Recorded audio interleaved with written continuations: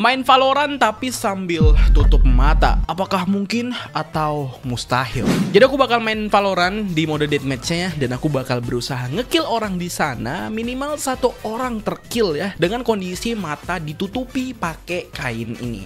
Ya, ini kain benar-benar tidak tembus pandang ya, benar-benar gelap gulita seperti yang kalian lihat sekarang ini, cok. Jadi aku bakal coba ngikat kain ini di kepalaku dan menutupi mataku dan langsung aja kita mainin mode deathmatch ya. Oke, kita udah masuk dalam deathmatch-nya dan aku harus ngintip dulu di sini supaya bisa masuk ke dalam gamenya ya karena aku tidak melihat apa pun kalau misalkan ini ditutup banjir beneran jok gelap brutal ya. Oh ya, aku mau siap-siap dulu beli senjata Vandal sama Serif ya biar mempermudahkan kita gitu. Cok, eh tapi ini senjataku masih kan? Oke.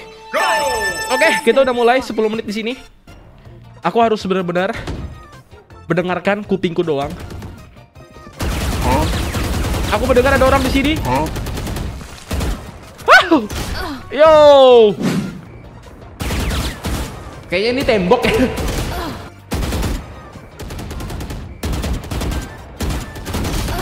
Oh no. Oke. Okay. Au! Ngehit gak sih kita? Sumpah ini susah banget, Cok. Anjir, susah banget, Cok. Bener-bener aku nggak tahu apa yang aku lakukan dan aku nggak tahu ini kita lagi ada di mana dan aku nggak tahu kita lagi nembak apa. Aku hanya feeling lompat-lompat seperti ini. Ini sih sepertinya kita udah tahu jawabannya ya teman-teman. Tapi kita tidak boleh men menyerah bro. Kita tidak boleh menyerah. Oh ini kita di air nih. Ini kayaknya di C ya? Oh, kayaknya pakai vandal. Sangat sulit sih.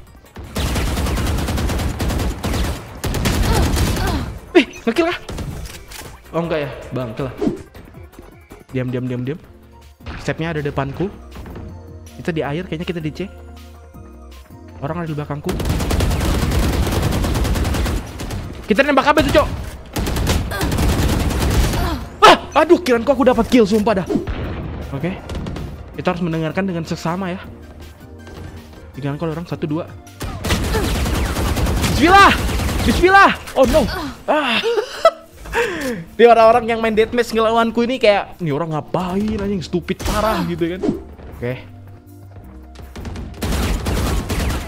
Aku mendengar stepnya tapi aku nggak tahu lokasi sebenarnya dia tuh di mana. Apakah di belakang tembok atau di mana? Pokoknya aku cuma dengar stepnya doang. Aku cuma tahu. Wah! Cok! Wah!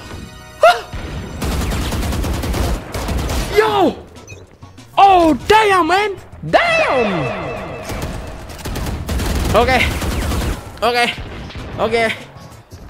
Oke. Oke. Oke. Dengan keadaan mata tertutup, kita ternyata masih bisa ngekill orang satu biji ya. So ya, jadi jawabannya adalah mungkin. Bagi kalian yang punya ide di tantangan menarik lainnya, kalian bisa langsung komen di bawah ya. Dan ya, jadi gitu aja. See ya.